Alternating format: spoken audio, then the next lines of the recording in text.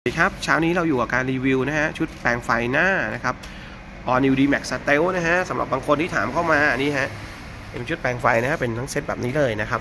เราทำไปให้เรียบร้อยไปถึงก็เสียบปลั๊กใช้ได้เลยฮะเดี๋ยวจะให้ช่างคลี่ออกมาฮะคลี่ออกให้ดูแล้วก็เดี๋ยวแนะนำทีละชุดมันไปเลยว่ามีอะไรบ้างนะครับอ่าอันนี้จะไปฝั่งขวานะฮะอันนี้จะไปฝั่งซ้ายนะฮะฝั่งซ้ายสังเกตง่ายๆจะมีปลั๊กนะครับเข้าแผงฟิวนะฮะตัวใช่นี้ครับอ่าเดี๋ยวให้ช่างแนะนำเลยฮะ แล้วก็ปลั๊กไฟเลี้ยวครับ2พินนะคห้ารับสองพินปลั๊กไฟเลี้ยวครับ6พินจะเป็นปลั๊กไฟหน้าพร้อม DRL ครับ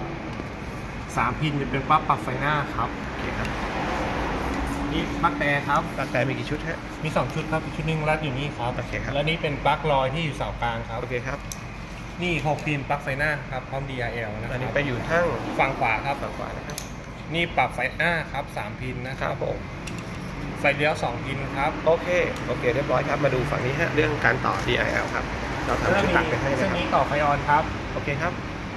เส้นนี้ลงกาวครับอ่าทีนี้ตรงกลางจะมีห่วงหางปลาให้แล้วนะครับ โอเคฮะอันนั้นชุดดีเลย์นะครับ ไปตัดนี่มีสำร DIL องให้อีกหนึ่งตัวครับมีสำรองดีเลย์ไว้ให้อีกหนึ่งตัวฮะในชุด โอเคฮะ เดี๋ยววันนี้เราจะส่งให้ลูกค้านะครับ สุขโคไทยรอรับได้เลยครับสำหรับชุดสายไฟสเตลนะฮะ แตกต่างจากชุด 1.9 นะฮะ ใช้กันไม่ได้นะครับ คนละชุดกันเลยปลั๊กคนละแบบกันนะครับ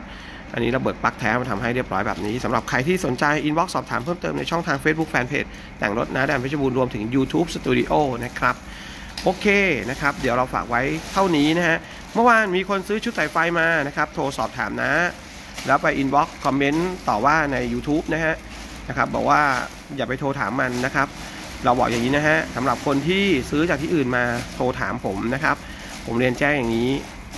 ผมไม่สามารถบอกได้ เพราะว่าผมไม่ได้เป็นคนวายริ่งสายไฟนะครับแต่ถ้าบอกไปนะครับลูกค้าไปต่อช็อตต่อไหมนะครับความรับผิดชอบนั้นต้องเกิดอยู่กับผมนะครับ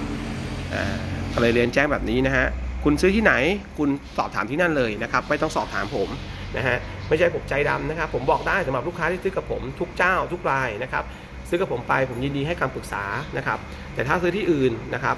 ผมขอบายเลยโอเคนะครับ เข้าใจตรงกันนะครับ สวัสดีครับ